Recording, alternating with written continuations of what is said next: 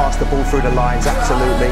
And you can see that what he does at Xhaka, he gives Odegaard that platform to go and be the skillful player in that team. But he's a lot more than just a defensive player. He can do a lot more than that. Yeah, absolutely, because he's so good on the ball as well.